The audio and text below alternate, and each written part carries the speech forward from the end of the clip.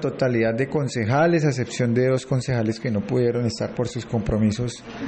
pues personales, pero me llamó mucho la atención que todos nuestros concejales han estado atentos, dispuestos a esta emergencia que tenemos en la ciudad de Ibagué que tenemos en nuestro país. Hemos recibido cada uno de sus comentarios, sugerencias,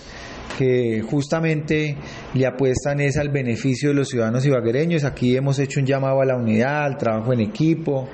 Hemos acordado también, por ejemplo, sugerencias que nos hacen en el tema de las beburías ciudadanas en que podamos también identificar a otras poblaciones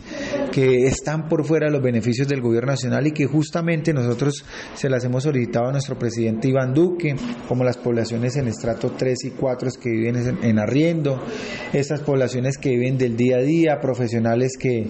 viven también del comercio, a todos estos grupos poblacionales, a los artistas, también. Eh, y esto yo creo que este trabajo en equipo va a beneficiar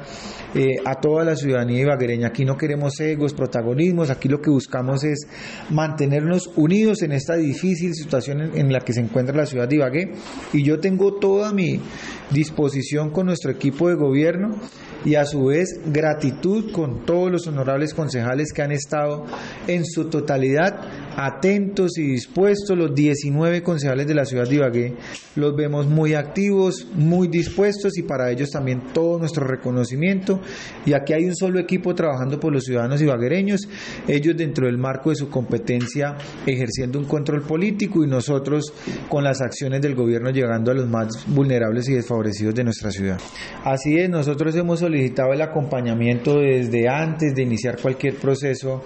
de contratación, de la Contraloría, en cabeza del doctor Iván Delgado, también del personero, el doctor Prada, también de la Procuraduría Provincial, de la Procuraduría también general y a su vez de la Fiscalía. Hemos encontrado a través de la mesa de moralización que confluyen todas estas entidades de control un acompañamiento preventivo, concomitante, que nos permite a nosotros trabajar en equipo, en el marco de la institucionalidad, como lo hemos hecho nosotros, a través de una empresa seria que es 472, que está entregando puerta a puerta después de caracterizar cada una de las poblaciones vulnerables y focalizar estas entregas con una auditoría que ha sido seria y también lo mismo han dicho los honorables concejales, que van a ejercer un control político que es su deber, que es su función, para que los ciudadanos ibaguereños tengan la total claridad de que los recursos están siendo invertidos en la gente que más necesita de ese apoyo, en cómo también hemos llegado en el tema de salud, en cómo se va a fortalecer nuestra red de salud de la ciudad de Ibagué, en cómo se está trabajando de manera eh, ardua con nuestra policía, con nuestro ejército, también en beneficio de garantizar la salud de los ibaguereños y la vida. Por consiguiente, lo que puedo seguir es que, lo que puedo manifestar es que aquí hay un trabajo en equipo, hay un trabajo en el marco de cada una de las competencias que tiene el honorable consejo que nuestra junta directiva y la alcaldía de Ibagué para sacar adelante esta difícil situación en la que nos encontramos en la ciudad de Ibagué y en nuestro país.